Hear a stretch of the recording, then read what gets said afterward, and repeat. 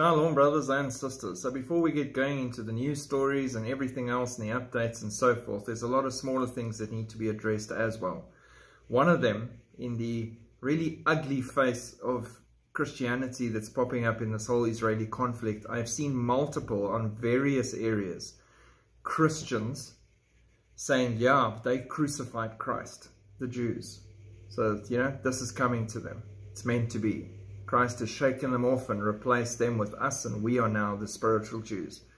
Okay, so besides the replacement theology and all that rubbish, let me just get to the root of the problem here of the common statement going all the way back to Nazi Germany and people who hate Israel and Jews all over the world. They crucified Christ. I'm going to jump straight into Psalm 22. If you haven't read Psalm 22, brace yourself when you have the time because it's emotional to read the events of the crucifixion seen through the eyes of Jesus Christ himself. Matthew, Mark, Luke, and John tell you about the crucifixion and the cross that brought us salvation. But Psalm 22 tells you what Jesus experienced from his point of view directly. There's so much in there that is not in Matthew, Mark, Luke, and John. And it's again an example of how the Old Testament and the New Testament are one book given by God and they complement each other perfectly. Psalm 22 verse 16 is what I want to point out specifically. For dogs have surrounded me. The congregation of the wicked has enclosed me. They pierced my hands and my feet. I can count all my bones. They look and stare at me. They divide my garments among them, and for my clothing they cast lots. Now, I'm going to stop right there. I'm not even going to get deeply into the rest of those verses because then I'm going to get emotional and this is going to become a longer teaching about the crucifixion. I want to especially focus on verse 16. Dogs have surrounded me. Speaks to the Romans and non-Jews, which was a word they used for Gentiles in that day, which is like today when Jews say goyim or goy. They, they're meaning pretty much the same thing, a non-Jewish person. Right? So dogs have surrounded me. These are the Romans and the non-Jews that are taking him to crucify him.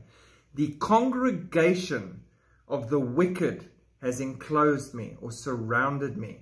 Here he is speaking of the so-called leaders, the Pharisees, the Sanhedrin, the Sadducees, the religious that were actually evil men. They were a congregation of the wicked. They were his own people, a wicked congregation, the Jews, that surrounded him, enclosed him. So he is here specifying that there's two groups, Jew and Gentile, that were involved in this crucifixion event. And again, go read Psalm 22. And if you want, I'll do a video on it at some stage. From there, He's saying, great, okay, so Jews and Gentiles were responsible for killing Jesus Christ. Wrong. Okay, John 10, verse 18. I'm going to read to you from the New King James Version. No one takes it from me, but I lay it down of myself, and I have power to lay it down, and I have power to take it again. This command I have received from my Father. Yet Jesus specifically tells you we didn't have the power to kill him. You can't kill God. Who do you think you are? He laid down his life as a sacrifice, the perfect sacrifice of the perfect Lamb of God for us to obtain salvation and become acceptable and approach the throne of God as his children if we receive him. He had the power to lay it down and he had the power to take it up again. His power, no power of man, could slay Jesus Christ.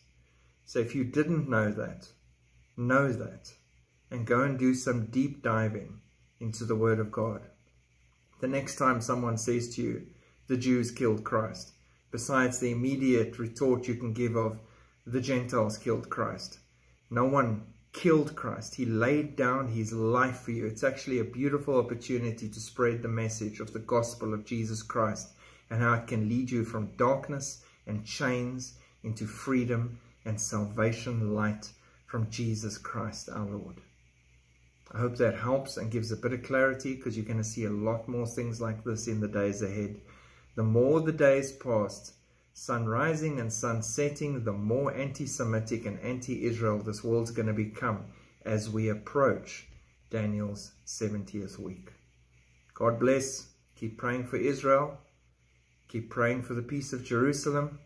Keep spreading the gospel, the amazing message of what Jesus did on the cross 2,000 years ago. Shalom.